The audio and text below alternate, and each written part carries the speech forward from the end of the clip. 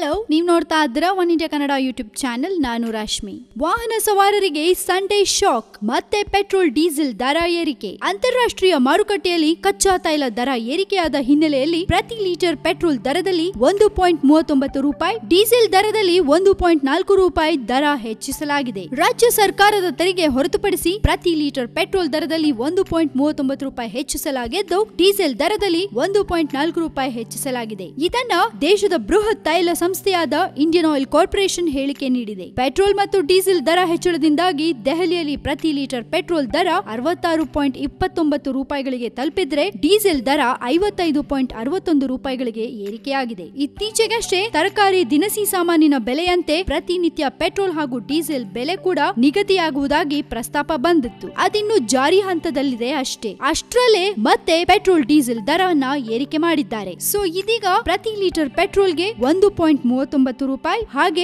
Diesel ಪ್ರತಿ litre ಒಂದು point ನಾಲ್ಕು ರೂಪಾಯಿ. ಹೀಗೆ ಇನ್ನು ಅದೆಷ್ಟು ಸರಿ ಡೀಸೆಲ್, ಪೆಟ್ರೋಲ್ ದರವನ್ನ ಏರಿಕೆ ಮಾಡ್ತಾರೋ ಗೊತ್ತಿಲ್ಲ. ಇದ್ರ ಬಗ್ಗೆ ನಿಮ್ಗೇನಾದ್ರೂ ಹೇಳಬೇಕು ಅಂತ ಅನ್ಸಿದ್ರೆ ಧಾರಾಳವಾಗಿ ನಿಮ್ಮ ಕಾಮೆಂಟ್ಸ್ ಅನ್ನ ನಮ್ಮ ಕಮೆಂಟ್ ಬಾಕ್ಸ್ನಲ್ಲಿ ಹಾಕಿ ಕಳಿಸಿ. ಅಂಡ್ ಇನ್ನಷ್ಟು ಸುದ್ದಿಗಳಿಗೆ ನೀವು ಸಬ್ಸ್ಕ್ರೈಬ್ ಮಾಡಿ ನಮ್ಮ one India Kannada YouTube channel ಜೊತೆಗೆ ಈ ನಮ್ಮ ವಿಡಿಯೋ ನಿಮ್ಗೆ ಇಷ್ಟ ಆಗಿದ್ರೆ ದಯವಿಟ್ಟು ಶೇರ್ ಮಾಡಿ ಲೈಕ್ ಮಾಡಿ.